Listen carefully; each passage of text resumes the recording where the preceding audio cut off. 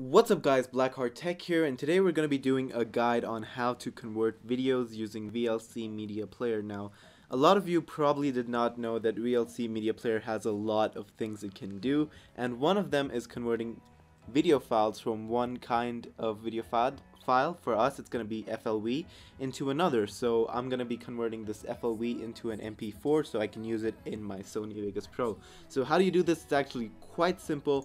Let's just start off VLC any way you like to do it. Stop the video that's playing and go into media and then go into convert and slash save.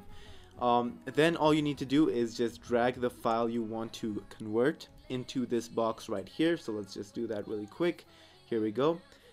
Now all you have to do is go down to convert slash save. Just click that once and browse a destination file. So we're just going to be saving this into the um, the folder itself. So here we go. We're to name it converted. Alright. And uh, yeah, that's pretty much it. Converted now. You can uh, tinker around tinker around with these settings to check out um, what kind of video file or audio file you want to convert it to. So there are many, many, many ways um, of different encodings of video and audio. So you have um, H.264 plus MP3, which gives you an MP4 file.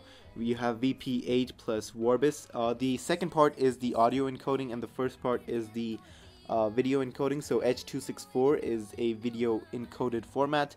So and MP3 is obviously a, a audio encoded format. So H.264 plus MP3 T TS, which I really don't know what it stands for. Uh, there's also a lot more. So you can also convert audio files from MP3 to FLAC or whatever you want to do like that. So there's a lot of options for converting and uh, they're pretty easy to do. So I'm just going to be converting into MP4. There are also settings right here which you could uh, which you could uh, play with you could go to convert this into an AV fi AVI file if you want.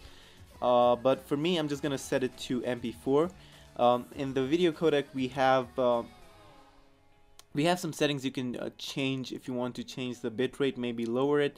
I don't think increasing it would make a big difference, but yeah. Also, if it's a if it's a 60 frames per second video, you could lower that to 30.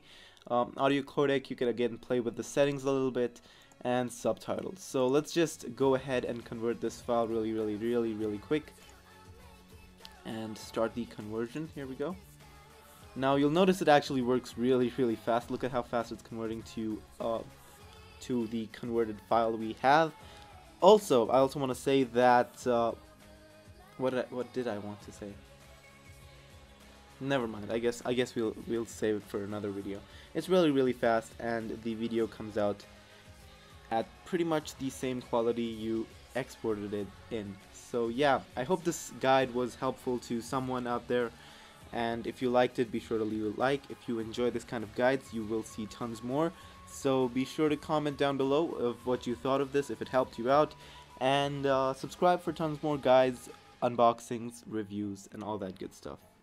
Blackheart Tech signing out.